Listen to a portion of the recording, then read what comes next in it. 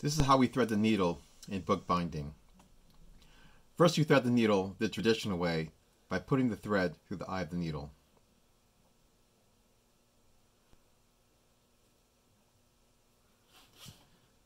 Now I'm going to pull the needle, the thread through the needle, leave about a three or four inch tail.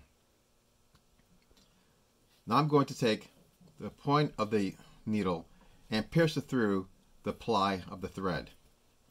The way I do this is I make an upside down U. I'm going to take the point of the needle and pierce it through the ply. I'm using a thicker thread than what you'll use in the class so that it's easier for you to see what I'm doing. So now the thread has been pierced by the needle. Now I'm going to hold the point of the needle and pull the tail down so that I can make a slip knot. As you can see the thread can move up and down the needle. So I'm going to pull the tail and pull it down so it goes past the eye. And that creates a slip knot.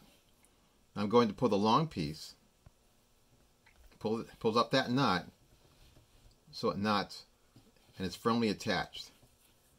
And this way, the thread won't come off the needle while we're sewing. Thanks for watching.